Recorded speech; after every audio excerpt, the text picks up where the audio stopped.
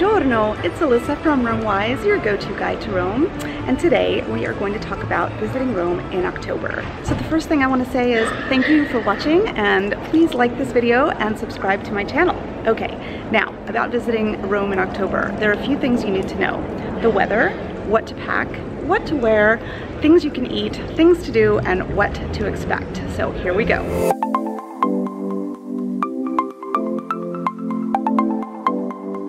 First half of October is actually pretty summery. As you can see, I'm wearing a short sleeved shirt.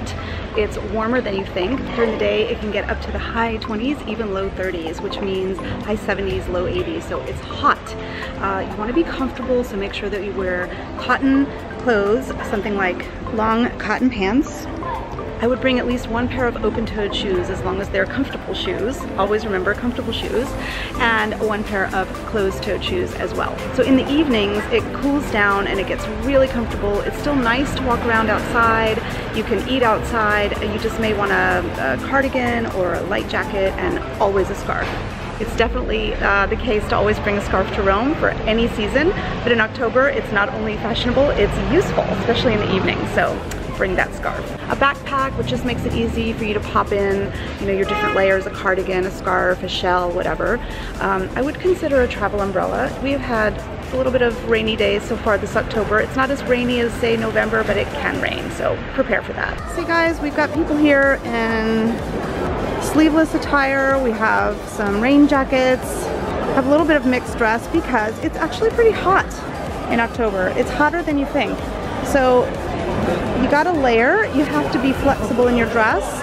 It's a good idea to bring light clothing but layer it because you don't want to be overheated from trying to dress for quote unquote you know really chilly fall weather which you're just not to get. Okay now let's talk about the foods that are in season in October. Yes I am wearing short sleeves it's mid-October it's pretty warm so we are in the middle of October and we're gonna take a walk in my local market over here it's called Mercato Latino it's a really local market. If you really want to get off the beaten path, come check out this market. So let's go take a look and see what fruits and vegetables are in season in Rome in October.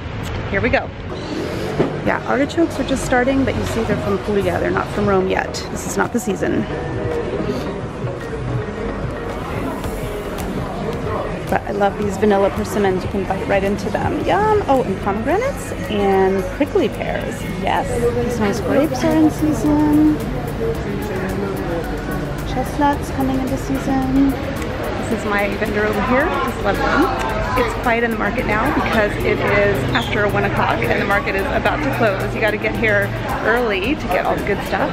Um, and it's much more crowded earlier. So I decided to come later so I could show you around. So just leaving my market and let's see. So some other things that are in season that we're not gonna see in the market, you'll just see them at restaurants. Funghi porcini, porcini mushrooms, delicious, grilled, love that, and white truffles. You can only get white truffles between October and December. That's it, it's a short season. They're very delicate, you can only eat them raw. They are food of the gods as far as I'm concerned, but they're expensive. So you should find them on the menu for about 30 euros and up. Okay, next thing to talk about is what to expect. The second thing that surprises people about Rome in October is it is peak season. I know, it seems crazy. Why is October peak season? You thought this is a good time to come to Rome, right? Because you figure, well, everybody is off their summer vacation, the kids are gone. Guess what? Everybody has the same idea as you. So this is peak travel season in Rome. You need to plan ahead. Everything is booked solid. If you want to visit the Borghese Gallery, if you want to visit the Vatican Museums, you want to visit the Colosseum at night. These are things you've got to book ahead most of the year, but in October, don't think it's low season, you can just show up. Okay, that's really important. So guys, what have I been telling you about the crowds in October? It's crazy. So let's take a look at Piazza Navona. Here we go.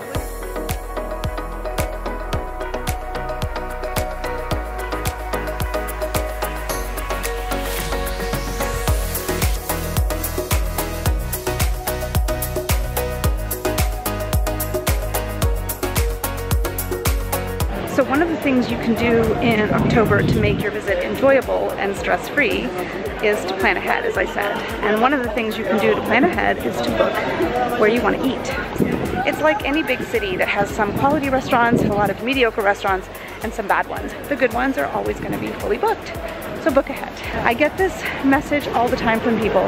Oh, I went there, but I didn't realize you had to book and it was fully booked. And so we just went down the street and had some horrible pizza. Just plan ahead. It's not that complicated and you'll have a great time. If you're not a planner and you don't want to be locked in, that's fine too. You will always find something to eat, but just so you know, the good places, they get booked up. So take that with a grain of salt. And I have written the book on what to do in Rome in October. So check the link below and you can download my ebook on Rome in October. And you can also visit the page on RomeWise all about Rome in October. So I hope you've enjoyed this video. If you did, please hit like below and subscribe. I would love it if you did. And thanks a lot for watching and I will see you at the next video. Ciao for now.